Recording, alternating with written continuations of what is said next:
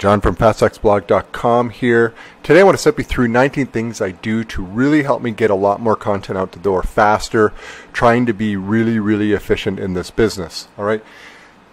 The thing to keep in mind is we, we are smaller publishers and we're face we're faced with some stiff competition, big companies, seemingly unlimited resources.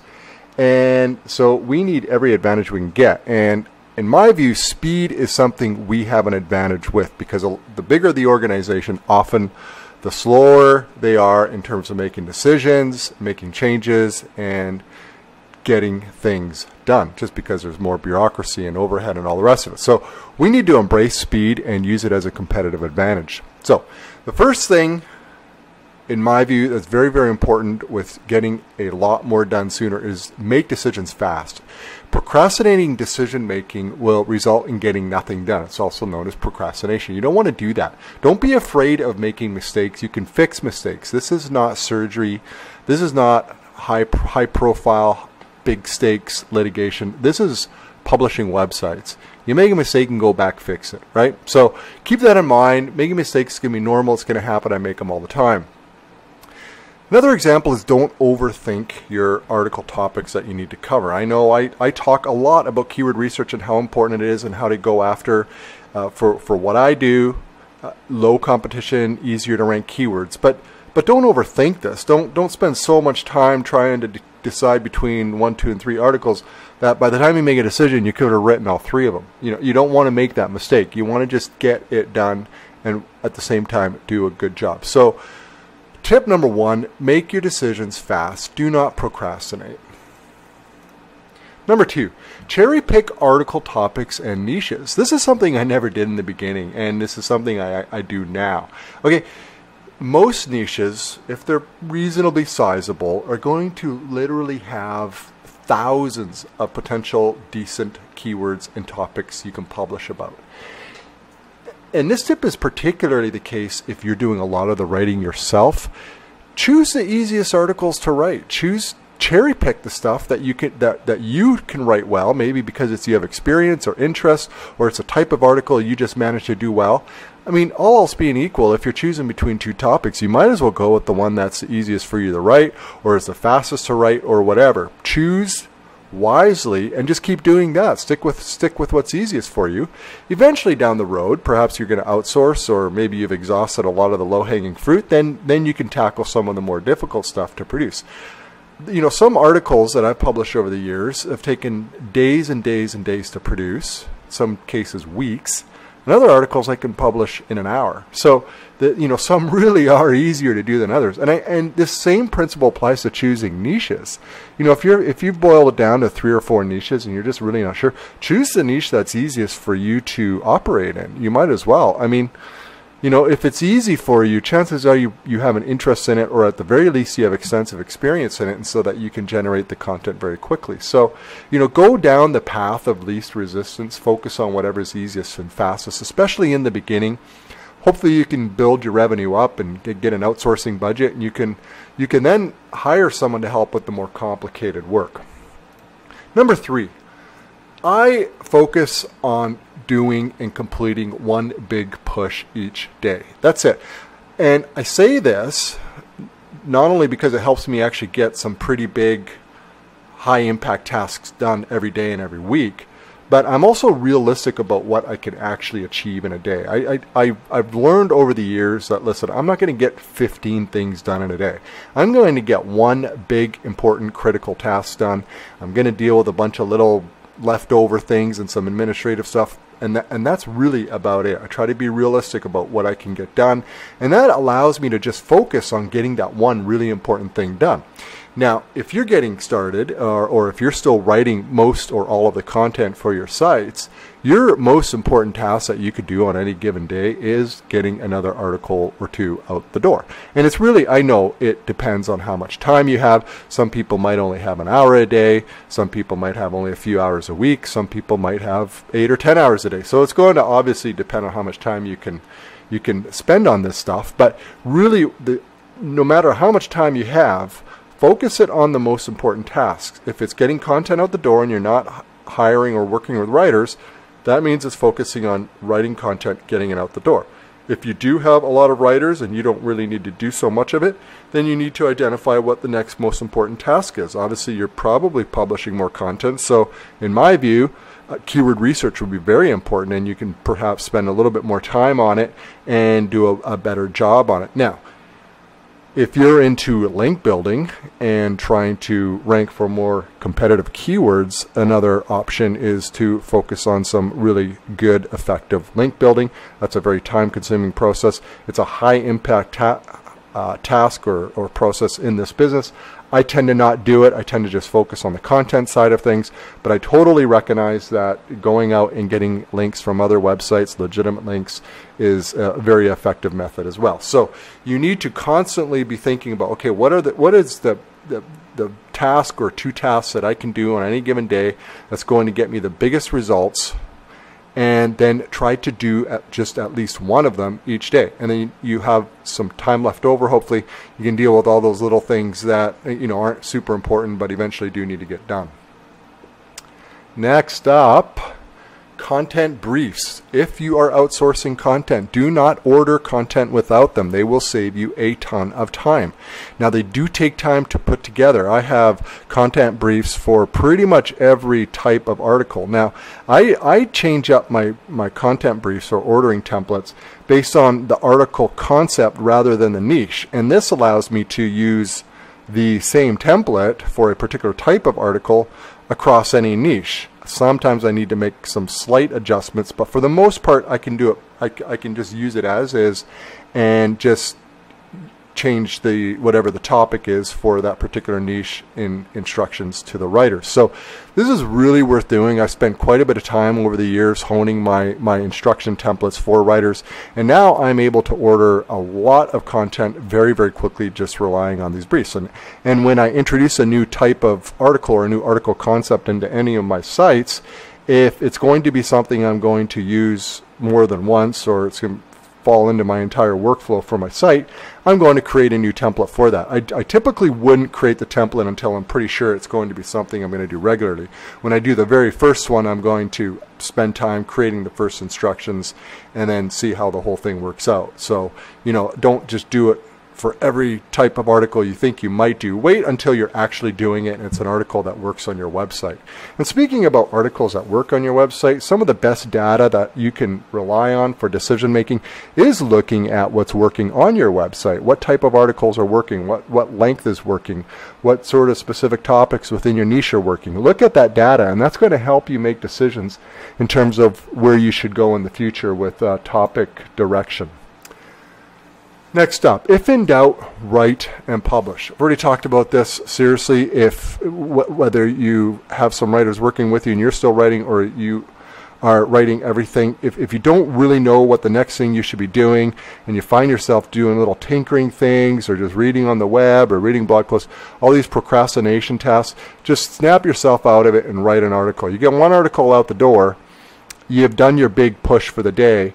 And then if you want to spend the next hour or something tinkering and, and reading and doing that sort of stuff that doesn't really add to your bottom line, by all means go for it. I mean we all we all take breathers, we all do that stuff. I certainly do.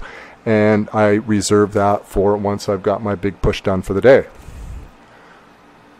Use the same theme and plugins across multiple sites. Now, if you're just getting started, I do not recommend that you try to grow two, three, four, five websites at the same time, unless you have a huge, huge budget and you can build out a team instantly, then you can tackle multiple sites. If it's just you, you really should focus on one one website. It's a lot of work to get one website off the ground. Focus on that. Once it's once it's performing really, really well, generating really good revenue, then you could start thinking about diversifying with another website. So let's assume you have two websites or three or five or whatever number in my view, in my experience, it's saved me a lot of time to just use the same theme and the same fleet of plugins on every site, set them up pretty much the same way. And that way, when I need to make any changes or updates or do anything to it, I can just open them all up in a tab and I can just rip through one by one like an assembly line, do it all. It's done quickly. I also become very, very familiar with the particular theme I'm using. So it takes a lot of the guesswork and contacting support and looking at support documentation, all that. I don't have to do any of that. usually, it doesn't take me very long. I've got a really good understanding of how everything works, and I can make my own changes quickly and do them myself rather than wait for somebody else to do them. Next, this is a new development in my workflow, write in Classic Editor, publish in Gutenberg. What do I mean by this? Okay, well, WordPress has the old Classic Editor that we've been using for years and years and years. And then a few years ago, WordPress launched this whole new editor page builder called Gutenberg with Gutenberg blocks. Okay, it's awesome. I like it. This is in by no means a comment about me not liking Gutenberg at all, but but I do prefer to write and format for as much as I can in Classic Editor, and then do the final uh, styling and publishing in Gutenberg. Okay, so Classic for me is just easier to use. I find most of the people on my team do prefer Classic, and so we use it. So I, I did a big push to switch to Gutenberg. I, I trained every, everybody who deals with my websites on using Gutenberg and which blocks I want to use and where to use them and all this stuff. That, that was quite a process. And I'm very happy with Gutenberg, and I use Gutenberg uh, page builders for home pages and, and other pages. And so, you know, I kind of sort of had this purist mentality, and purist mentalities can often work against you. And so it was going to be like Gutenberg or bust. We're going to just use Gutenberg from, from start to finish. And I was doing my, you know, writing content. I still write content for various sites, and I was formatting some content and I just always defaulted to classic. I, I actually published and wrote lots of articles in Gutenberg. I just found it cumbersome. I found I had to use the mouse and click and move things way too much, and it just totally, totally interrupted my, my workflow and my writing, and I just, by default, just started using Classic. I like it better. Most of the people who I work with prefer it, and so I just send out an email, said, listen, you know what, we can, we can construct and, and put all the content together in Classic. Then we can just convert it over to Gutenberg at the end, insert whatever Gutenberg blocks we're using, like the Gutenberg uh, simple TOC table of contents, any schema we need to add via the blocks and so forth, and then publish the post as Gutenberg. And that's worked really, really well, and it's sped up the process for everyone. And so just don't don't have the purest mindset. Go for the faster, easier methods if it's possible. Okay, checking stats does not make you more money. A lot of people, and I am included in this years ago, I used to spend way too much time every day refreshing analytics for traffic levels on current day, especially in that real time view, and of course, any ad revenue networks. Okay, now most ad networks these days don't show you revenue until the following day, so you can't really just sit there and pound away and look at how much your revenue is going in a given day. But when I used AdSense way back when, your AdSense uh, revenue would grow throughout the day, like literally minute by minute. So you could just sit there and refresh, refresh, refresh, and watch your AdSense go up. Now, that was kind of fun, but it didn't do anything for my business. It, it didn't grow traffic. It didn't grow revenue. It just was a, a waste of time, really. But, and so I know in analytics you can do the same thing. You can see your traffic throughout the, the day, and not only is the time that you spend on it a waste of time, it, it, it disrupts any workflow you have, but most importantly, it puts you on an emotional roller coaster, especially if you do that real time traffic thing. And you notice it's like, oh, wow, it's 9 a.m. Tuesday, and um, I have eight uh, visitors less at this time than I did last week. Oh no, my site's going down the tubes. What's going on? You dive in and then you get distracted and you start looking for problems and then maybe you implement some changes that you really shouldn't have made because it's really based on not even close to enough data. And before you know it, you've wasted a whole hour on something that's probably nothing and it just happens to be a slight anomaly where your traffic happened to be a little bit lower for one particular hour out of the week compared to last week and it's meaningless. So I tend to avoid all of that throughout the day. I, I do check analytics and, and revenue accounts uh, anywhere from three to five times a week. Uh, I, I, think it's important you do need to stay on top of this. Don't completely disregard it because if there are some big swings on any given day or week, you know, that may be an indication of something's working super, super well, and that could be more opportunities, or it could be an or maybe things start going down quickly. That could be an indication there's a problem that you need to take a look uh, into.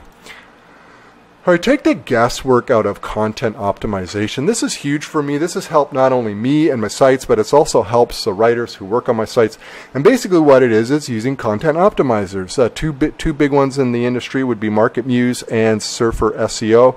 I've used both. Both are very good and you can rely on them. And basically what they do is they give you a lot of little helpful tips on optimizing your content based on content that's already ranking in Google. So they look at the, the top ranking uh, articles, it might be the top 10 or 20 or 30, and it'll look at like a word count, it'll look at the different words used, the phrases used, number of headings used, questions, images, everything you could really drill down and look for this stuff. I tend to not get that detailed about it. I tend to focus on basically additional words or topics that should be added to the article as well as word count. And MarketMuse has a really nice feature where they also suggest the various questions that are tightly related to the particular topic and I find those helpful. Um, MarketMuse has its own algorithm, so they come up sometimes with fairly unique stuff, and I like that. And so writers will use these tools uh, when they're working on articles that are assigned to them, and it helps them too. It helps them come up with additional topics and subtopics that they need to add to the article. It certainly guides all of us in terms of word count. Now, I say all of that about content optimizers with a grain of salt. Is this going to guarantee you number one rankings for all your articles? No, it will not. These are merely guides. There's no guarantee here. This, this is something that maybe will give you a slight advantage with your content. It is not a sure thing. And so that's how I view it. And for me, you know, it, when you're publishing a lot of content over the course of a month and a year, every slight advantage you can get is going to help and add up in the long run. Do I have empirical proof and data to show you that using MarketMuse for my articles has resulted in higher rankings? No, I don't have that. I don't track that stuff that carefully. The concept makes sense to me, and so I'll use it and I'll spend money on it, and I'm happy to pay writers to spend time to use it as well. I think overall, on the balance, it helps with content. And in fact, the interesting thing is, and this occurred to me occurred to me very very recently, and that is, I believe, or at least for me, what's happened is using these content optimizers is saving me a lot of money because I used to order articles just with pretty uh, high word counts without really investigating really what, what would be needed. And so now what I do is I order articles on the topics based on the suggested word count by MarketMuse for that topic, and which is which is really cool because in the past I may have ordered 1,800 words for a particular topic, but MarketMuse suggests perhaps 900 will do it. So maybe I'll just hedge a little bit and and add, add a add a cushion and make it 1,000 for the order. Whereas in the past I'd order 1800, so I've saved myself a considerable amount on a particular article, and I, I, I, know I'm getting a lot more content out the door for the same or less money using content optimizers. So that's a really big benefit with it, and, and I certainly don't think it's compromising the content output whatsoever. Next, avoid scheduling anything. Okay, this is this is a personal preference.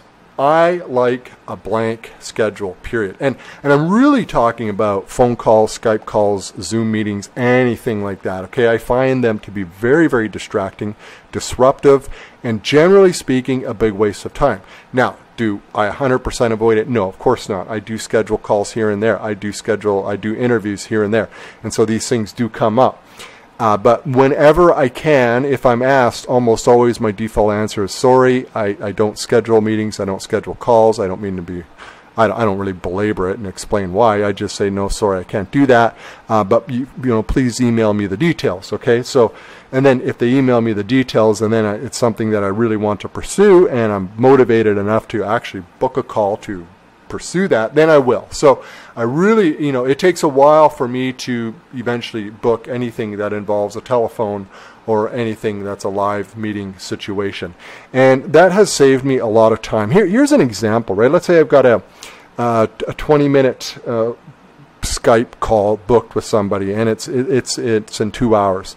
Well, the reality is, is because I've got that call and it's sort of this cloud hanging over me, I'm probably just not, for whatever reason, it doesn't make any logical sense. I'm probably not going to start anything serious inside an hour before that call because I know it's going to get interrupted. And so it throws the rhythm of my entire day off. And that's particularly the case if these calls end up getting booked during my three to five hour sweet spot, which is my big push time, which is usually in the morning.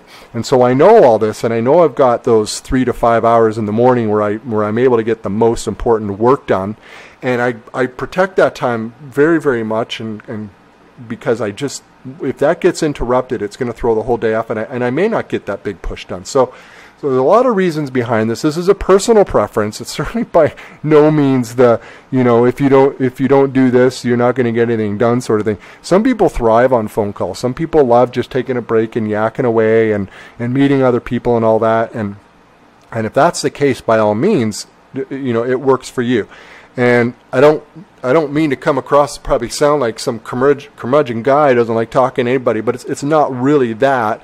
Um, often these these scheduled calls are various merchants or, or people I'm really likely never going to really talk to again and you know it's a sales pitch of some sort and very likely it's not not going to be something I'm interested in and so for me I just don't see that it's a good use of my time and I just don't like things on the schedule. So um, you know each to our own in this regard but for me my preference is definitely keeping my schedule as clean as possible especially during that that big push important three to five hours in the morning all right, I've mentioned this many, many times, and I'm sure most of you already know this. It's obvious, but multiple monitors is a must-have. it's not only in this business; it's any business where you're using a computer. I mean, to have be able to have two two screens, two full windows open, rather than navigating different tabs, um, it's just a game changer with productivity. Uh, if you have a laptop, you can easily add a, a low-cost monitor. Monitors aren't very expensive these days. It just takes a HDMI cord, and you're up in business. For me, it's got to probably be at least a 30 to 50% increase in productivity adding the second. I actually have uh, a total of, well, I have three monitors. The third is one of those widescreen curve things, which is really cool for spreadsheets because I can really stretch them and it's probably a bit excessive, but I, I do honestly use all three monitors pretty much all day long. I find it very helpful.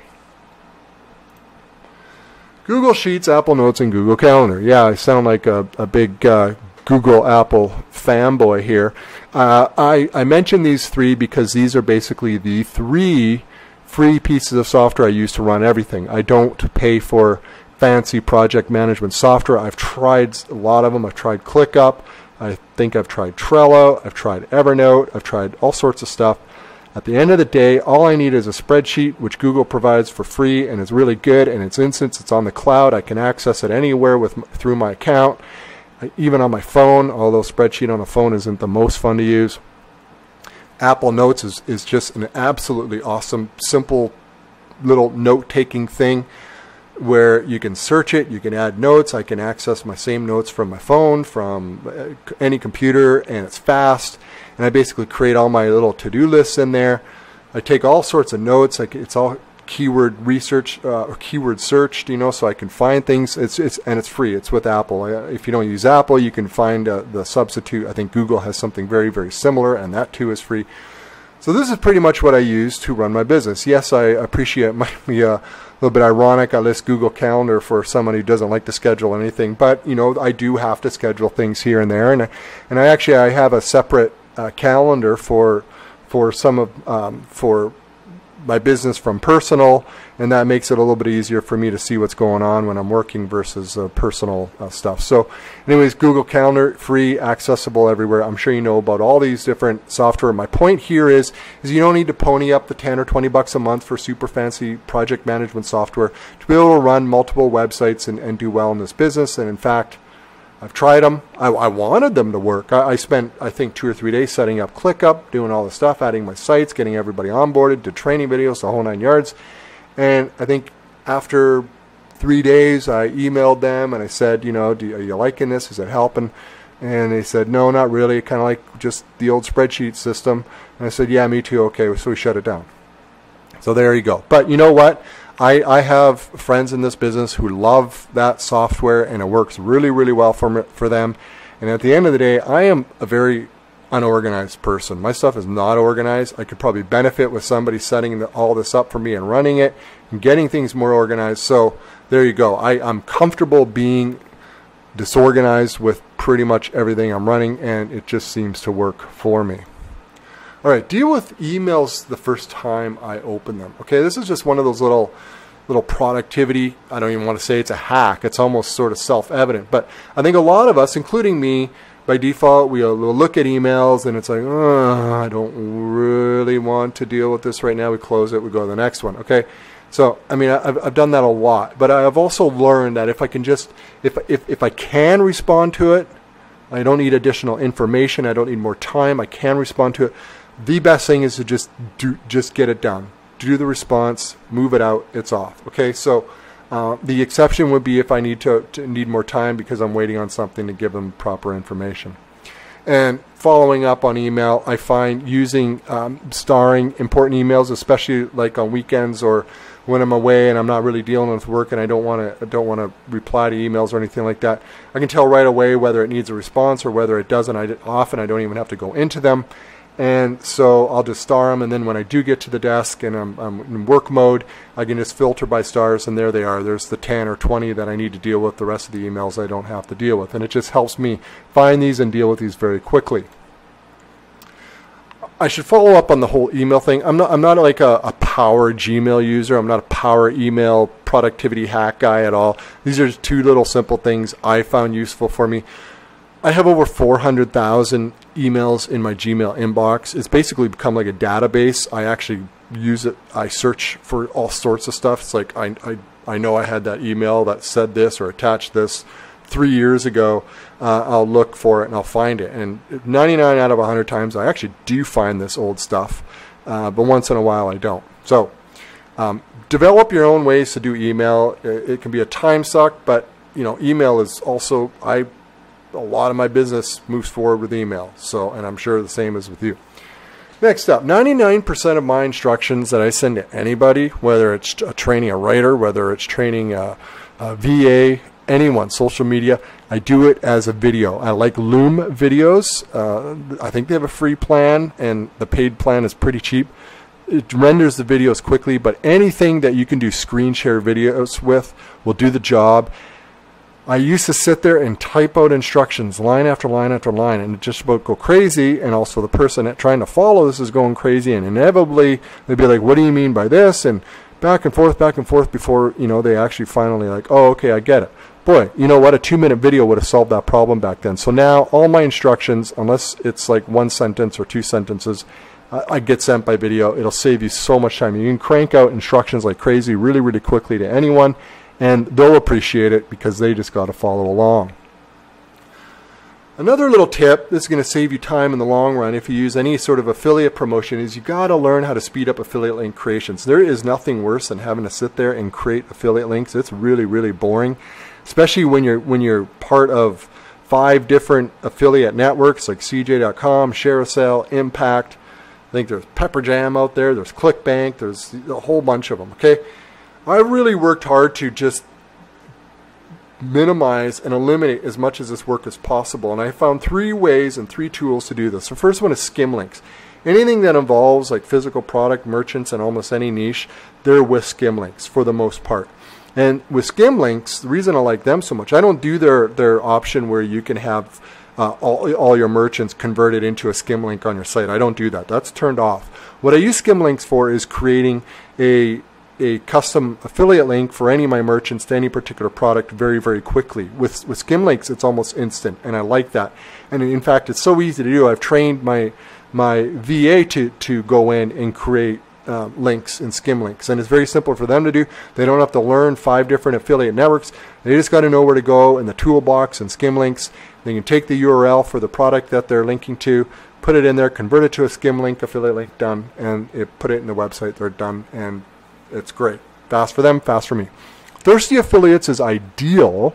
It's a it's a affiliate link cloaker. It's ideal when you promote the same 10, 20, 30 merchants throughout your website. And the reason it's so ideal is if any of those merchants where you probably have, let's say, 5, 10, maybe 100 different instances of links on your site to them, promoting them, they go ahead and they change affiliate networks, which means the affiliate links change.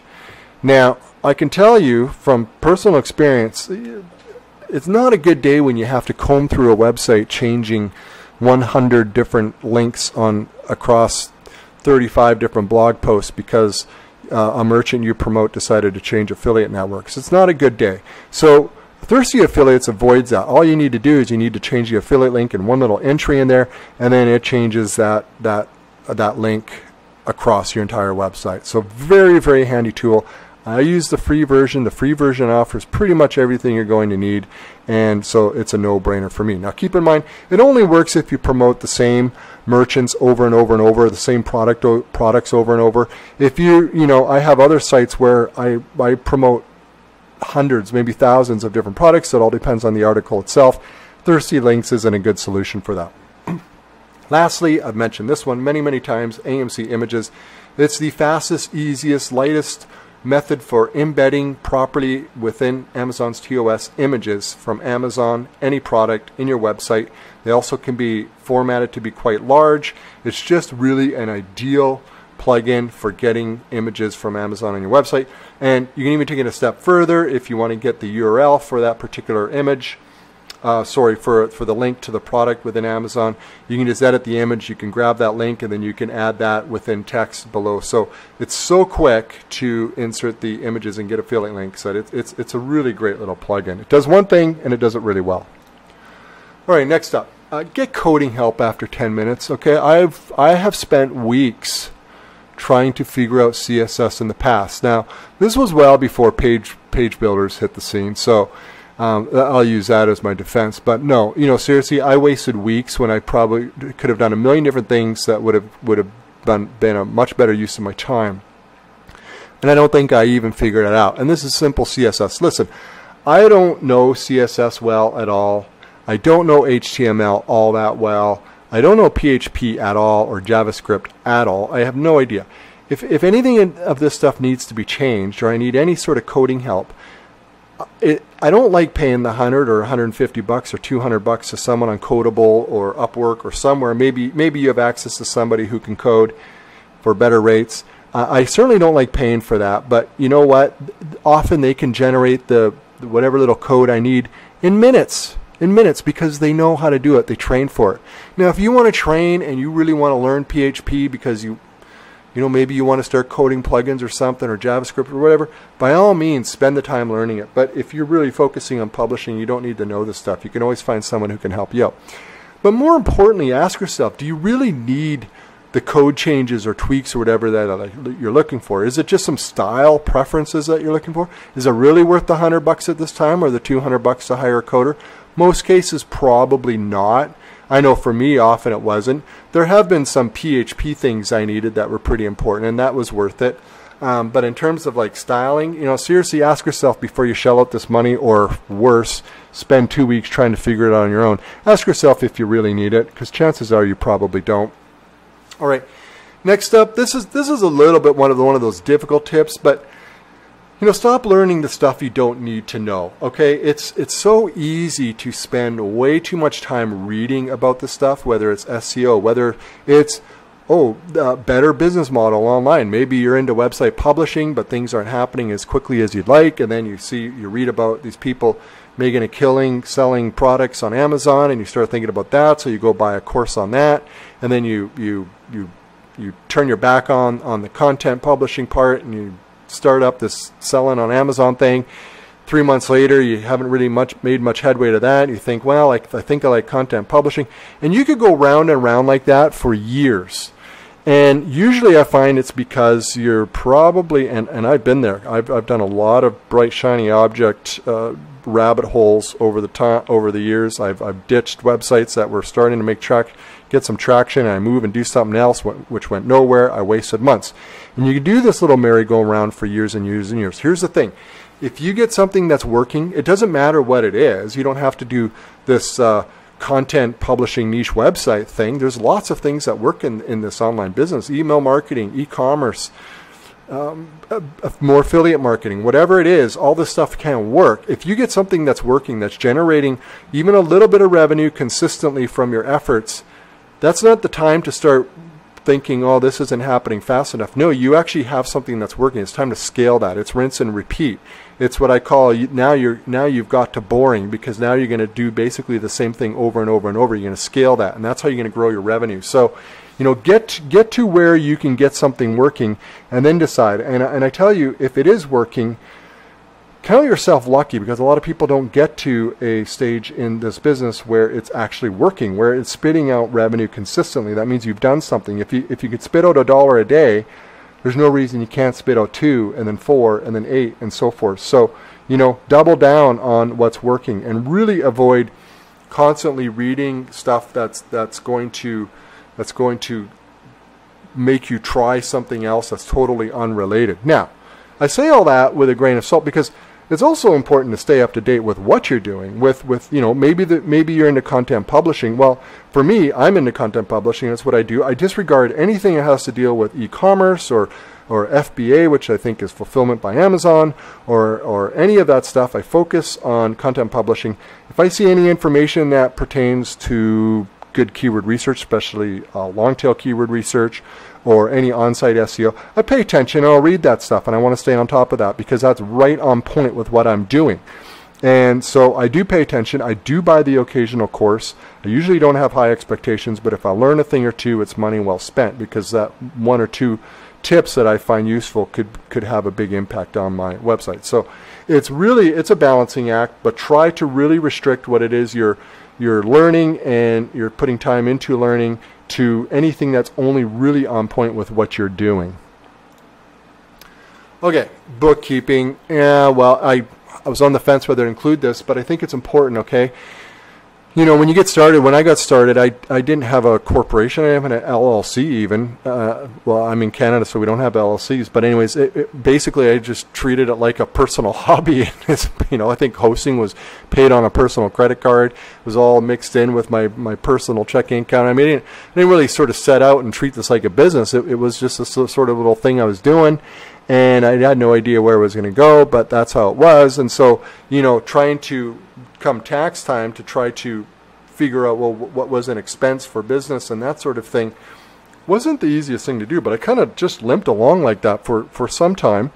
And eventually you know I wisened up, and, and probably the easiest thing you can do if you're not quite ready to incorporate or do the LLC thing or anything like that, and, and do consult lawyers and accountants when you think you're ready for this for those next formal steps. But the easiest thing you can do really is just get a separate credit card where you're going to run your expenses and a separate PayPal account for, for your online activities for the business stuff, and that's going to make it very easy for you to quickly you know figure out you know what was your uh, revenue earned from your online business and your expenses, and it just helps the accounting be a lot easier. And if you want to take one step further and make your life easier with accounting, is just get QuickBooks. It's fairly inexpensive. If you have some revenue coming in, it's probably worth doing. It'll help with the whole at the end of year tax preparation. And you know what? If you're going to pay an accountant to do all this work, the the less work and time that they need to do the stuff uh, the better. And a 10 bucks a month or 20 bucks a month that QuickBooks costs is probably going to be well worth every dollar you spend if you save even one hour of accountant's time at, at year end. Well, that's a wrap. That is a quick list of, I guess, tips. I don't even want to say they're hacks. There's not, there's nothing really magical about this stuff. It's just things I've sort of learned over the years to help me just get more done and understand really how much I can get done and you know know know the limitations of realistic expectations what to focus on at any given time how I want to structure my day these are all important they all help me get more done at any given time and really when when it comes to lists like these there's probably nobody in the world where they're going to resonate with the same 19 that I've set out. You know, it's not like this is some mandate. It's like if you don't follow all 19, you know, you're never going to get anything done. It's ridiculous. You know, if, if at best two of them resonate with you and you're like, oh, that makes sense. I kind of like that idea. Then it would, then it, then it's, then it's worthwhile. You, you got something out of it. So don't think that, you know, oh, well, I have to now do all 19 of them. No, you don't. You know, just cherry pick a couple that you think make the most sense to you and go with it. Thanks for watching.